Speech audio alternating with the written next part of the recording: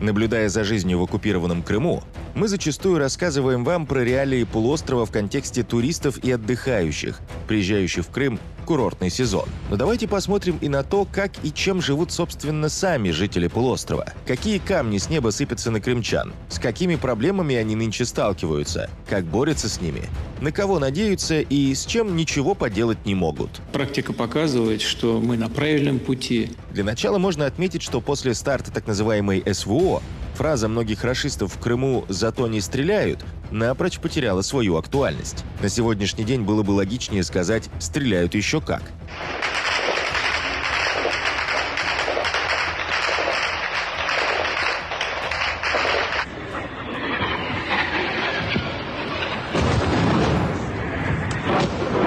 Уже два года военные цели в Крыму то и дело сбивают с собой всевозможные ракеты и дроны. А там еще вот, смотри. Вот кое-что очень яркое из свеженького. Вышел на балкон, посмотрел в ту сторону, было зарево. Я в окна увидела клубы дыма, языки пламени. Недавно на нефтебазе Феодосии кто-то так зачетно покурил, что ставленникам Кремля пришлось останавливать движение поездов, эвакуировать сотни людей, живущих поблизости, и перекрывать дороги. В связи с пожаром проезд по Керченскому шоссе в сторону Приморского перекрыт, и объезд возможен только через село Владиславовка. С тушением нефтяного терминала явно возникли проблемы, ведь горел он несколько дней.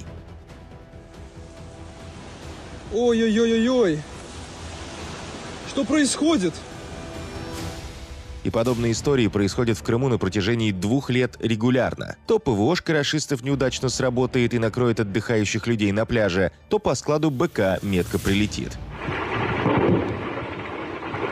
произошла детонация боеприпасов на складе хранения. Соответственно, исходя из ситуации, сложившейся мной принято решение эвакуировать в пятикилометровом в радиусе 5 километров от эпицентра, соответственно, население эвакуировать То есть жили себе крымчане спокойно и бед не знали. А потом на полуостров пришла Россия, устроила большую войну с Украиной, и теперь жителям Крыма то и дело приходится подскакивать от взрывов и в целом, находясь рядом с законными военными целями, чувствовать себя, мягко говоря, не совсем в безопасности. Это, короче, капец. Так страшно. А понаехавшие из РФ персонажи на пару с кремлевскими упырями и крымскими коллаборантами еще и из-за моста напрягаются, каждый день ожидая, что его финишный час вот-вот настанет. перекрытие сухопутного коридора в Крым э, в- вместе с массированным ударом самолетов F-16 по Крымскому мосту, это вот тот образ победы, который Белый дом сможет продать избирателям. А мы говорим с военной точки зрения, экономической точки зрения.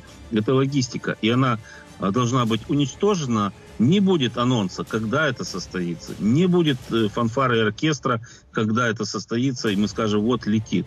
Это будет неожиданно для врага в любом случае и будет уничтожено. Ну а в общем и целом та еще атмосфера безопасности нынче царит в Крыму. По всему полуострову устанавливают бетонные укрытия, а в детских садах и школах окна заклеивают бронепленкой, которая не дает разлетаться осколком при взрывной волне. Защитной пленкой покрываются все окна на всех этажах школы или детского сада, чтобы свести риск травмирования детей от осколков до нуля.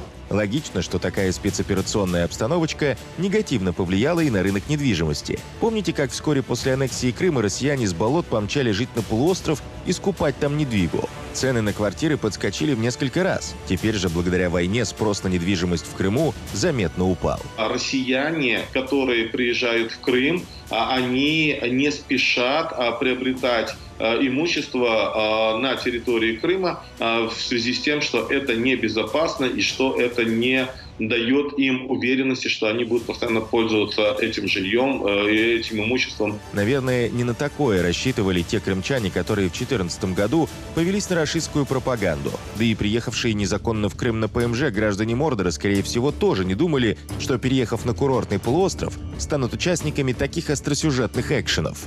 Это ПВО, походу.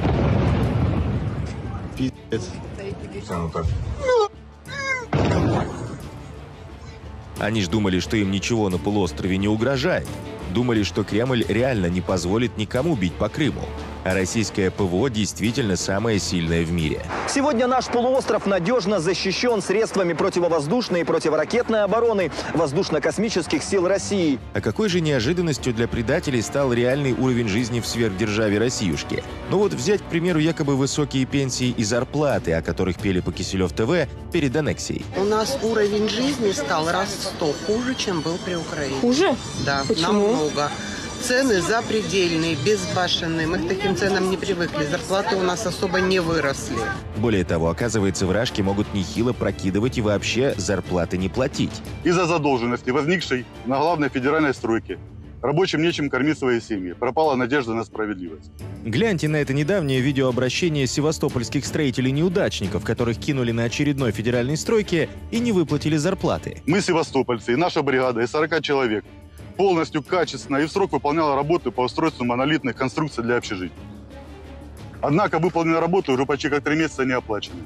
Перед нами долг составляет более 5 миллионов рублей. Мы уверены, что плата за выполненные наши работы до нас не дошла. И я села в карманах таких лиц, руководящих этой скандальной стройкой, в лице Белова Алексея Леонидовича и Седукова Александра Владимировича. Коррупция в великой духовной России? Да не может такого быть. Есть подтверждающая аудиозапись с Беловым, что Белов Алексей Леонидович передал сумму в 19 миллионов 750 тысяч рублей э, Средукову Александру Вадимовичу, на который был приобретен автомобиль Land Cruiser и взятые в лизинг или взятые в аренду два грузовых автомобиля, которые приносят им до сих пор прибыль на строй и работают где-то в ЛНР. Самое забавное, что уже буквально на следующий день появилось новое видеообращение строителей на фоне триколора с извинениями якобы за клевету. Подтверждаю, что все претензии удовлетворены. Перечисленным организациям претензий не имею. Благодаря дипломатическим способностям заказчика все вопросы были проявлены мирным путем. Также мы хотим принести извинения за клевету перед Седуковым Александром Владимировичем. А как вы хотели? Это же Россия. Тут такие порядки. Нужно молча принимать условия, совсем мириться и ни в коем случае не жаловаться в открытую на власть. Но меру надо знать во всем. У нас подчас мера никто краев не, чу- не чует и не чувствует. Но причин для жалоб у крымчан нынче хоть отбавляй. Они вполне могли бы рассказать и про заоблачные цены на полуострове. Вон даже у туристов с болот стоимость продуктов в Крыму вызывает шок.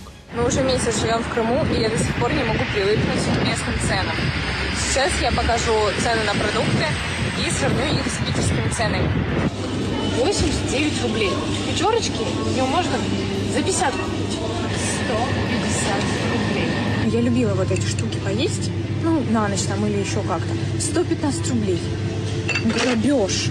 Цены не детские. Мало того, что после оккупации в 2014 году цены на Крымском полуострове сразу же подтянулись к общероссийским, так еще и после начала Большой войны Крым в унисон со всем Мордором продолжает поддерживать тренд на подражание всего вокруг. Поэтому инфляция на полуострове сейчас и несется вперед паровоза.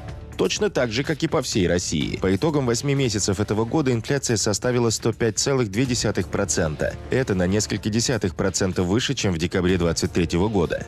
У нас подорожали услуги ЖКХ, если сравнивать август к декабрю предыдущего года, то они возросли на 13,5%, а это много. Да-да, тарифы же на услуги ЖКХ поднялись по всей РФ. И, конечно же, для Крымского полуострова особенных правил и условий не будет. Процентов на 20, наверное, точно. Подорожало все. Платили 5, стали платить 7 значительно. Ну, там, ну, не на 100 рублей, не на 200, а больше подорожали коммунальные услуги. Конечно, ну, хотелось бы или зарплаты побольше, или коммунальные поменьше. А могли ли крымские предприниматели, в частности из той категории, которая радовалась аннексии Крыма, представить, что их бизнес с матушкой России пойдет по наклонной? В Севастополе, например, более чем вдвое сократились доходы заведений питания, сообщил Крымстат. Ресторанный бизнес в Севастополе погибает. Количество летних площадок в Севастополе сократилось с сотни до примерно 40, и эксперты ожидают дальнейшего ухудшения ситуации.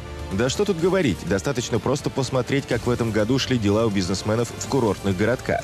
Здесь почему-то все закрыто, раньше было открыто. Здесь работа ведется. Здравствуйте, туристы есть уже? Мало очень. Мало? Пока мало. Тут видите, все пусто, как зимой. А на минуточку сейчас, сегодня, 2 июля 2024 год. Кафе почему-то закрыты.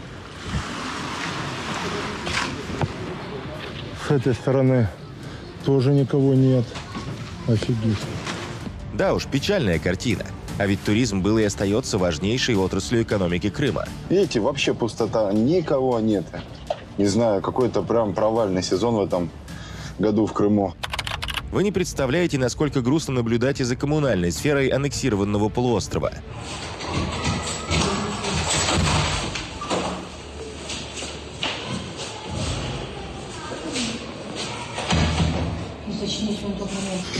Гагаринский парк, вторник. Здесь вот пролом. Жесть какая-то. Многие из тех, кто не смог противостоять российской пропаганде до 2014 года, были уверены, что в РФ, такой великой и богатой стране, везде чистота и порядок. Мол, все сферы находятся под жестким контролем. Они поняли, как ошибались, когда собственными глазами увидели исконно русское разгильдяйство и пофигизм. Прям чистота и порядок. Про обновление и ремонты коммунальной инфраструктуры расисты могут рассказывать только по телеку. А на деле крымчане видят вот это.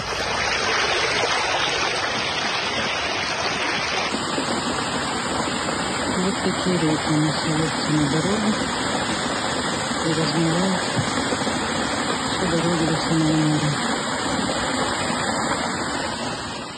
Износ устаревших коммуникаций не стоит на месте. Как результат, регулярные прорывы труб и канализации, которые происходили этим летом по всему полуострову. Да, воняет саками. А это что? Канализация, судя по всему. А это отправится, может быть, главе Республики Крым. А потом это все стекает в реки и море. Признавайтесь, вы же даже через экран ощущаете эти ароматы, которые распространились по пляжу в Судаке. А как вам вот такая Кока-Кола из крана в селе Мирное? Круче разве что только вот такой кофеек в Керчи. Много вопросов у крымчан и к великодуховному русскому благоустройству. Тротуары без бордюров, закатанные в асфальт деревья. Ну правда, это же не только в пропагандистских целях вылезали главные улицы самых популярных городов ЮБК. А стоит только за угол зайти, и можно увидеть много всего интересного. Площадь Захарова, то, на что мы заслужили. Грязь абсолютная. Ну то есть абсолютно все, чем так хвастался Кремль во время аннексии Крыма, оказалось фейком. Крымчане увидели собственными глазами, как выглядит их хваленая российская медицина. Я подошел к 7, вот такая вот очередь уже стоит. Это, блядь, 7 утра. Это еще даже не открылась поликлиника. И сейчас начнутся голодные игры, когда откроются дверь, все начнут заходить.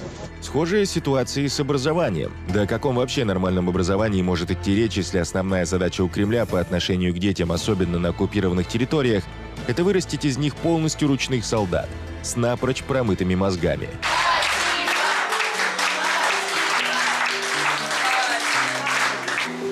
Смотрите, какие у нас бойцы. Мы отстоим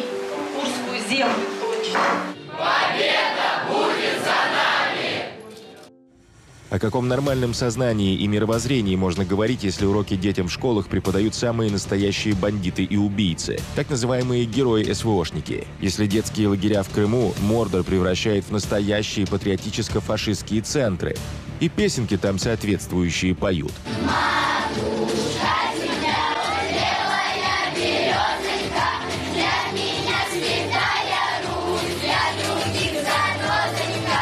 А что уж говорить про всякие мероприятия на полуострове, куда оккупанты активно завлекают детей. Мы постарались сегодня по- подобрать для ребят самые морские занятия и увлечения, какие только есть. Оформили это в виде квеста. Первые, кто пройдут полностью этот квест, смогут а, получить призы. Ну вот, стоит только посмотреть, как недавно в Севастопольском парке «Патриот» отпраздновали так называемый День тельняшки. Настоящий Z-цирк, никак иначе. На праздник приехали не только севастопольские дети, но и ребята из новых регионов России, которые сейчас отдыхают в Артеке. Гости парка вязали узлы, взбирались по трапу, участвовали в эстафетах и писали письма со словами поддержки нашим защитникам на фронт. Параллельно расисты не прекращают отбирать у крымчан их имущество, земли, бизнес. Думаете, просто так по всему полуострову, особенно в самых видных и выгодных местах, то и дело горят всевозможные кафешки и торговые павильоны? Этой весной в Евпатории сгорел Тропик Парк, который располагался в старом парке аттракционов. Местные жители тут же выдвинули свои версии. Мол, пожар в зоопарке случился не просто так. Наверняка кто-то положил глаз на привлекательный объект, который находится в самом центре города. Кому-то место понадобилось. Построят потом на костях безвинно погибших животных очередной отельчик, приносящий бабло. Наверное, кому-то выгодно. Хорошее место для новостроек. Место действительно козырное, центр города. Не верю я в проводку. Вот теперь будем наблюдать, кто там будет строиться, и делать выводы. И такие мысли не случайны. С самого начала аннексии Крыма Россия принялась уничтожать и разрывать Крымский полуостров на части, исключительно в своих интересах, а точнее интересах кремлевских упырей. Несколько слов на эту тему. Лакомые кусочки полуострова продолжают переходить в руки людей из окружения Путлера и главных российских ставленников в Крыму. Ну вот, к примеру, один из самых влиятельных людей в Мордоре, глава Сбербанка России Герман Греф, активно застраивает южный берег Крыма – забирая у местных жителей их земли, бизнес, вырубая ради своих объектов реликтовые леса. Вот на видео его элитный комплекс в Алупке, который местные прозвали «Дачей Грефа».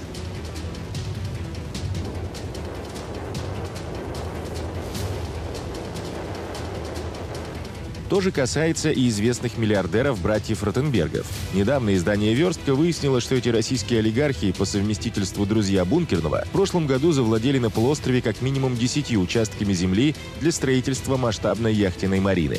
Представляете, сколько там всего выгодного перешло к их рукам за 10 лет оккупации? Братья Ротенберги завладели участками через госаукционы, судебные тяжбы и давление на местных предпринимателей.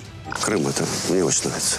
Это хорошее место для, для отдыха. А отдыхать в Крым приезжаете? Да, я люблю в Крыму отдыхать. Короче говоря, когда они все в 2014 году кричали «Крым наш», то в прямом смысле имели в виду, что Крым их, а простые крымчане и понаехавшие сюда с болот россияне, конечно же, оказались в пролете. Да уж, не на такие камни с неба они рассчитывали, но удивляться не стоит. Так было всегда и везде, куда приходила Россия. Все территории, оккупированные Мордором, так или иначе превращаются в серые зоны, в которых не работают законы, приближенные к власти только обогащаются, а жизнь простых людей с каждым днем становится только тяжелее.